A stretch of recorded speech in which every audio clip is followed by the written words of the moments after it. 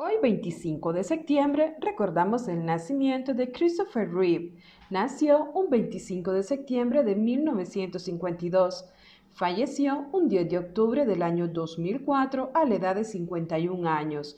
Christopher Reeve fue un actor, director de cine y activista estadounidense. Adquirió fama mundial como actor al interpretar al hombre de acero en las películas basadas en la popular personaje de cómics Superman y también es recordado por su personaje de Richard Collier en la película Somewhere in Time.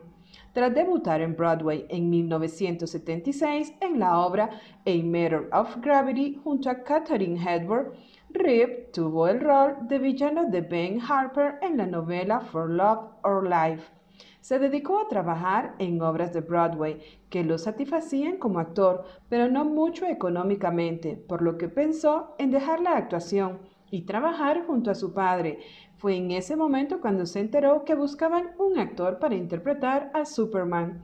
En el año de 1979 actuó junto a Jane Seymour en Somewhere in Time, estrenada en 1980, que si bien no fue un éxito de taquilla, se convirtió en una película clásica de culto y con muchos fans. En 1982 trabajó en dos cintas, Deep Trap, basada en una conocida obra de teatro, y Monsignor, donde interpretó a un sacerdote que mantiene una relación amorosa con la esposa de su hermano, un oficial nazi.